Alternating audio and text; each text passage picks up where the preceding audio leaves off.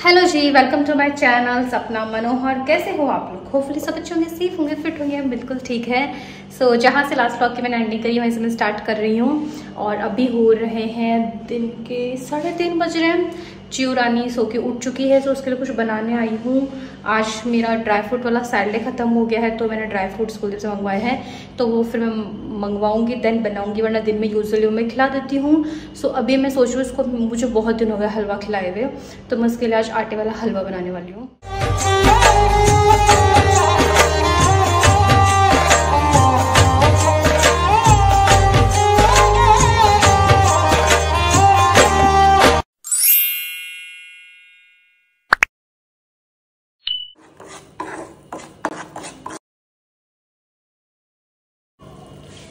और मीठे के लिए मैं चीनी यूज़ नहीं करती हूँ, वैसे तो मैं इसको ये भी नहीं देती हूँ बट कभी कभी लाइक जैसे दस पंद्रह दिन में एक बार कभी खिलाने का मन हो ना, हलवा वलवा टाइप तो ये वाली शक्कर यूज़ करती हूँ फिर मैं। बस इसको अच्छे से भूनना है, वरना बच्चे का पेट दर्द होगा कच्चा नहीं रख लेना। खाने के बाद में मैं इसको छानती हूँ, क्योंकि है ना कई वजह से गुठलियाँ वगैरह रह जाती है ना तो भैया आटा है तो बच्चे का फिर पेट दर्द होता है, कच्चा का रह जाता है। हाँ जी गाइज़ तो किचन का मैं ऑलमोस्ट सेवेंटी फाइव परसेंट काम करके आ गई हूँ। जैसे चियो के लिए दलिया बनाई आई भैया के लिए दलिया बनाई आई और आ, बेसन गट्टे की आज मैं सब्ज़ी बना रही हूँ तो बेसन जो गट्टे वो बना के बॉईल करके रखे आई मसाले की तैयारी करी आई जिससे छौंकना है आटा लगाई छाछ करी आई सैलेड कट करी आई कल के लिए ड्राई फ्रूट भिगो दिए मेरे लिए जीरा भिगो दिया मिट्टू के लिए भी खीरे काट दिए। सो ऑलमोस्ट मैंने इतना काम कर दिया है सिर्फ़ रोटियाँ सेकनी और सब्ज़ी बनानी है। सब्ज़ी बनानी है तो छमका देना है सिर्फ़ इतना सा काम बच रहा है। और आ, मुझे जाना है सिर्फ़ पंद्रह बीस मिनट के लिए पास में तो बस मैं कपड़े चेंज करने आई हूँ। तो सूट डालूँगी और च्यू को भी साथ ही लेके जाऊँगी मैं। तो फटाफट से चेंज करके फिर आप लोगों से मिलती हूँ।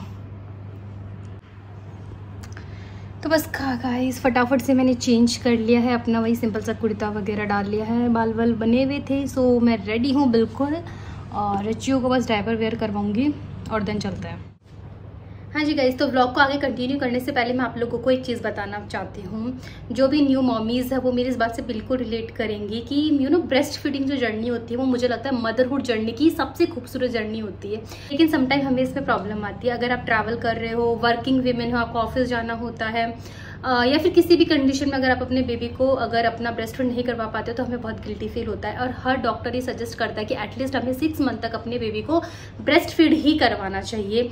कई बार ऐसी भी प्रॉब्लम आती है कि बच्चा अच्छे से लैचिंग नहीं कर पाता है या फिर आपका ब्रेस्ट फ़ीड जो है उसका सप्लाई कम हो जाता है तो इस टाइम पर आपको वरी होने की ज़रूरत नहीं है। जो ब्रेस्ट पंप होता है, वो बहुत ही यूजफुल होता है। ब्रेस्ट पंप इसी कंडीशन में काम आता है कि आप अपने ब्रेस्ट फ़ीड को वहाँ से पंप करके स्टोर करके रख सकते हो और अपने बेबी को फ़ीड करवा सकते हैं। आप ट्रैवल कर रहे हो वर्किंग वीमेन है या फिर किसी भी कारण से अगर आपको यू नो लीक वाली प्रॉब्लम हो रही है कि ब्रेस्ट फ़ीड कुछ ज़्यादा क्वांटिटी में बन रहा है या कम बन रहा है तो ब्रेस्ट पंप से जो आपका ब्रेस्ट फ़ीड होता है, वो इंक्रीज होता है। तो आप उस कंडीशन में यूज़ कर सकते हो ब्रेस्ट पंप तो मैं बिलीव करती हूँ लव लव के प्रोडक्ट पर, मेरी इस जर्नी में लव लव के प्रोडक्ट ने बहुत ही ज़्यादा मेरा साथ दिया है। मैंने जो पंप यूज़ किया था, वो था लवला ब्रांड का अडोर इलेक्ट्रिक ब्रेस्ट पंप मुझे लगता है कि बहुत ही सेफ़ है बच्चे की हाइजीन के लिए भी, क्योंकि इसमें जो प्लास्टिक यूज़ होता है, वो बीपीए फ्री होता है तो बहुत ही अमेजिंग सा ये डिवाइस इसके फीचर्स मैं अभी आपको आगे दिखा ये है लवलैप का अडोर इलेक्ट्रिक ब्रेस्ट पंप जिसके साथ आपको काफ़ी सारे अटैचमेंट मिलते हैं, जिनकी हेल्प से आप मिल्क को पंप कर सकते हो। और इससे आपका जो ब्रेस्ट मिल्क है, वो इंक्रीज़ होता है। और अगर आपका सप्लाई कम हो गया है या बेबी फ़ीड नहीं कर पा रहा तो काफ़ी हेल्पफुल होता है। इसके साथ में आपको ये एक सिलिकॉन फ्रेम मिलता है। ये है आपका मसाज फ्रेम इसके साथ में आपको दो ब्रेस्ट पैड मिलते हैं फॉर कॉम्प्लीमेंट्री आपको ये चार्जेबल के लिए मिलता है। ये है मेन पंप यूनिट उसके अलावा ये है इलेक्ट्रिक यूनिट इसमें ऑन ऑफ़ स्टोमिलेशन और स्पीड मोड है। इसी के साथ में आपको यहाँ पर एक फीडिंग बॉटल भी मिलती है जिसमें आप जो मिल्क है वो स्टोर करके रख सकते हैं। एंड आप इसको अगर परचेज करना चाहते हो तो इसका लिंक मेरे डिस्क्रिप्शन बॉक्स में मिल जाएगा। ऑल्सो ये आपको लव लैब की ब्रांड साइट पर अमेजोन पे इजीली मिल जाएगा। ये क्या था? ये क्या है? सबसे हेलो नहीं किया ना आज आपने? जी नई नई हैबिट कहाँ से सीखते हो आप ये? डांटना नहीं है हेलो करने के लिए बोला मैंने। से राधे राधे चो हाथ जुड़ राधे राधे। राधे राधे, टकलू बेटा। कहा जा लो आप, फ्रॉकू फ्रॉकू पहन के, हैं? कहा जा रहे हो? खुश खुश खुश। आजा मम्मा के पास आ। आजा देखो देखो, नया सीखा है आजकल इसने। आ जा, जल्दी आ जल्दी आ। जल्दी आ जा बेटे, कैब आ गई अपनी। हम्म। आओ। क्या? कौन आया पास में आपके? हैं चू क्यूट क्यूट सा बच्चा ये मेरा क्यूट क्यूट सा बच्चा है मेरा क्यूट क्यूट सा तो बस मैं गई थी कोई काम से और अभी घर पे आ चुकी हूँ। अभी मैं बस सब्ज़ी बनाने की तैयारी कर रही हूँ। तैयारी में करके गई थी बस छमकनी छमकनी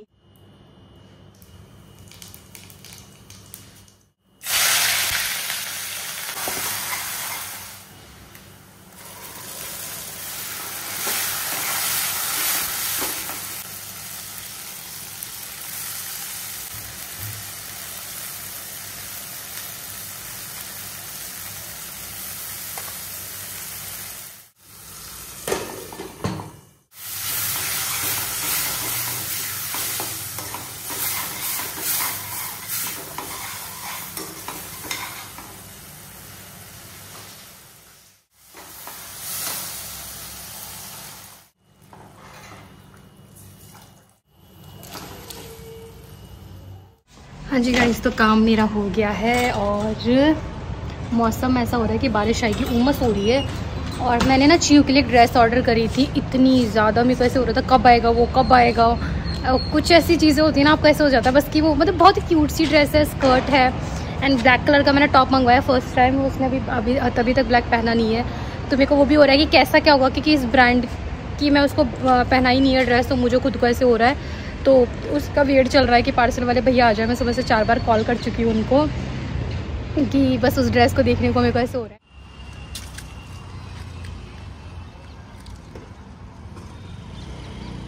इधर देख के भाग रही है।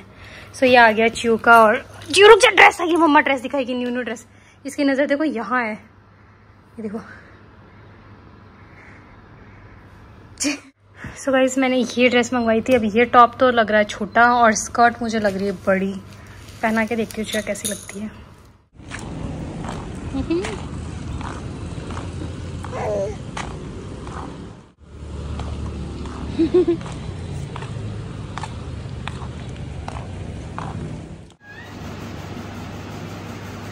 Hello guys it's next day कल मैंने शूट किया था, उसके बाद मैं डायरेक्ट मैं आज शूट कर रही हूँ। कि वो अपना इंसिडेंस इंजॉय कर रही है और जैसा कि आपने ब्लॉग का टाइटल वगैरह देखा था फ़र्स्ट ऑफ़ ऑल तो आप लोग बोल रहे हो कि आपकी जिठानी के बेबी हो गया। अगर जिठानी के बेबी हो जाता तो ऑब्वियसली मैं आप लोगों को व्लॉग में बता देती। मतलब एक प्रॉपर व्लॉग अगर मैं वैसे शूट नहीं करूँगी तो आपको ऑब्वियसली मैं अपडेट तो कर ही दूँगी कि बेबी हो गया आ, क्या हुआ है क्या नहीं हुआ। अच्छा दूसरा मेरे पास में कमेंट आ रहा है और इंस्टाग्राम पे डीएम आ रहा है कि आपको कैसे पता कि उनकी बेबी गर्ल ही होगी? ये वाला क्वेश्चन क्योंकि बहुत सारे व्लॉग्स में मैंने बोला है लोग कमेंट भी करते हैं बॉय होगा तो मतलब मैंने रिप्लाई किया कि नहीं गर्ल ही होगी। तो लोग हमें पूछ रहे हैं कि भाई कैसे पता आपको आपने चेक करवाया? देखो चेक वगैरह तो ये ऑब्वियसली इलीगल है और ऐसा कोई चेक का वो है भी नहीं। इसलिए बोल रहे हैं बेबी गर्ल होगी क्योंकि जीजा को बेबी कल गर्ल ही चाहिए। इसीलिए उन्होंने सेकंड सेकंड प्रेगनेंसी अपनी मतलब की है। सो हम लोग मैनिफेस्ट कर रहे हैं। हम लोग आ, मतलब खुद ही अज्यूम कर रहे हैं कि बेबी गर्ल होगी बेबी गर्ल होगी। वो कहते हैं ना कि मैनिफेस्ट कर रहे हैं तो वही चीज़ होगी। और, दूसरा क्या है ना उनके मेरे जो भी मतलब सिम्टम्स थे ना बिल्कुल सिमिलर से हैं। आ, उनका जो अभी चल रहा है खाने पीने का मन जो उनका बॉडी स्ट्रक्चर हो रखा है जो कलर वगैरह सब कुछ मेरा और उनका एग्जैक्टली सेम चल रहा है। जैसे अभी वो काफ़ी फेयर हो रखे हैं काफ़ी ग्लोइंग उनकी स्किन हो रखी है तो बोलते हैं जब बेटियाँ होती है तो काफ़ी स्किन ग्लोइंग हो जाती है।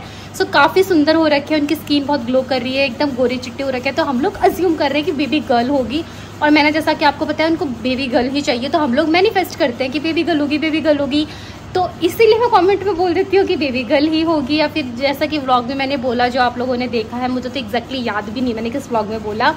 आ, तो बस वही है कि चू की छोटी सिस्टर आएगी तो बस हम लोग श्योर हैं मतलब उनको देख के कि भाई वो इतने सुंदर हो रहे हैं गोरे हो रहे हैं तो वो देख के कि हाँ बेबी गर्ल ही होगी। सो ये है और हाँ अभी नहीं हुआ है उनका बेबी होगा या तो जून के एकदम एंड में या फिर जुलाई में, उनकी जो डेट है ना, वो थर्टीन जुलाई है तो अभी काफ़ी टाइम है इट्स ऑलमोस्ट एक महीना पड़ा है पूरा। और इस मेरी छोटी सी बांदरी को देखिए छोटे से बांदरा, मेरा इतना प्यारा प्यारा बांदरा ही है उसको रखो उसको रखो वहीं पर। नहीं, मुँह मत बनाओ मम्मा की तरफ़, मैं नहीं पागल करने वाली उधर रखो। रखो उधर। बड़े क्यूट क्यूट से मुँह बनाती है यार अब दे अब बेटा। रख देना। मम्मा को देखो इधर। सो जा बेटा।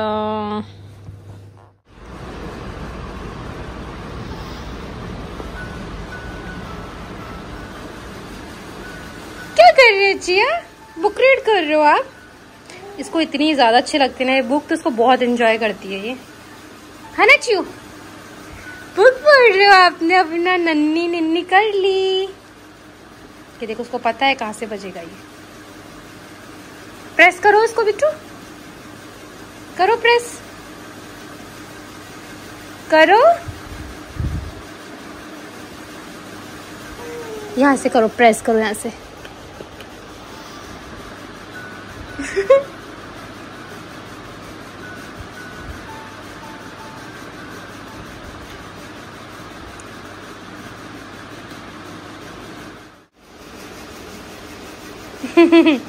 ऐसे बोल ले ले मुझे। इनसे विनसी कहा आपकी जो वो लेके आओ? जो? फिर आज इसको पढ़ लो फिर मम्मा नाइट से दूसरी वाली बुक निकालेगी आपकी। ठीक है? ओके? हेलो गाइस तो ये रात के फ़ोन का आपका? टाइम? अभी टाइम देख सकते हो आप। 11:29 हो रहे हैं ऑलमोस्ट साढ़े ग्यारह बज रहे हैं। और मैंने दिन में क्लिप लिया था आज मेरा मूड बहुत ज़्यादा ख़राब था मतलब लिटरली हद से ज़्यादा ख़राब था। मेरी आँखें भी देख सकते हो आप कैसी हो गई अभी। सो इन्होंने अभी रात को साढ़े ग्यारह बजे थोड़ा मेरा मूड चेयरअप करने के लिए मेरे लिए है ना चोकोलावा केक और पिज़्ज़ा मंगवाया है। वैसे तो अभी मुझे बाहर का खाना नहीं खाने देते इतना बट आज इन्होंने मंगवाया मैं नहीं खाने देता। अब करते नहीं मोटी हो गई मोटी हो गई। हाँ, करो, तो इसलिए तो फिर आज इन्होंने मतलब ऐसे कुछ बस मूड ऐसे ही ऑफ़ हो रहा था तो इसलिए मैंने फिर ब्लॉग भी कंटिन्यू नहीं किया आज।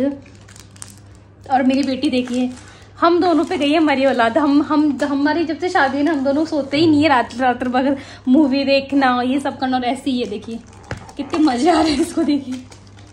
क्या कर रहे देखिए इसको। ये देखिए गाइस इसको दोनों हाथों में ऑर्गिनो और चिली फ्लेक्स लेके बैठी है। ओए जिया, देख। एक्साइटेड हो रही है इसको मिलेगा खाने को।